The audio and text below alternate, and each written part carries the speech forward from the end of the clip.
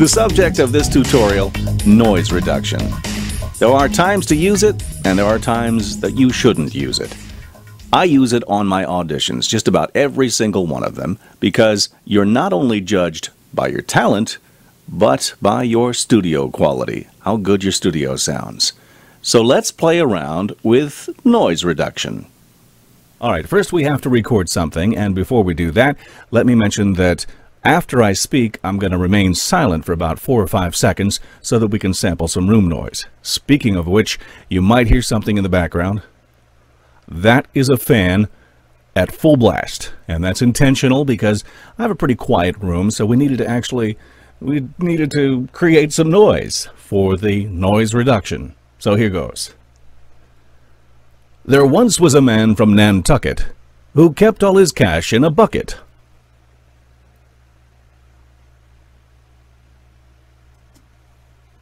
All right. Now, before we move on with the next section of the tutorial, if you don't mind, I need to turn that fan off. It's still winter here, and quite frankly, I'm freezing my nuts off.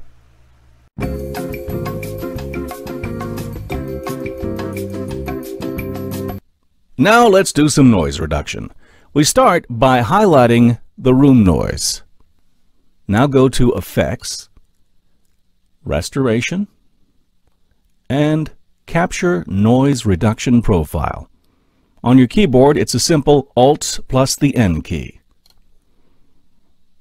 All right, we've sampled that room noise. Unhighlight it by clicking on your screen. Go back to Effects. Go back to Restoration. And you'll click Noise Reduction Process. This N here is a keyboard shortcut that I created for the process, which makes it a lot faster. The only thing you're going to change here is this number here. And you can do that by sliding the scroll bar here. Or you can just type in the figure you want. I'm going to go with 80. Click OK. See all that noise is gone. You can see it gone. Now, if after applying the noise reduction, your voiceover sounds kind of strange. Some people describe it as uh, alien-like. Uh, redo it. Undo what you did. Redo it. Try a lower figure, perhaps.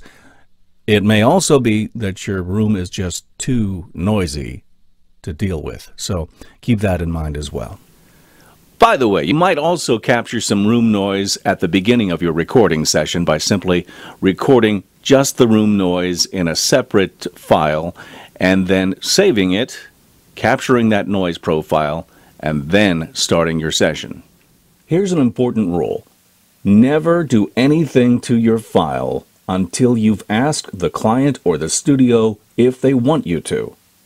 Most of the time, they'll tell you no. Just send me the raw audio. So ask before you do noise reduction or anything else to your file. Oh, and just remember, noise reduction will not take away dog barks, kids screaming, and planes flying overhead.